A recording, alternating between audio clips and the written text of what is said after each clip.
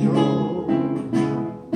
Un fuerte latido de su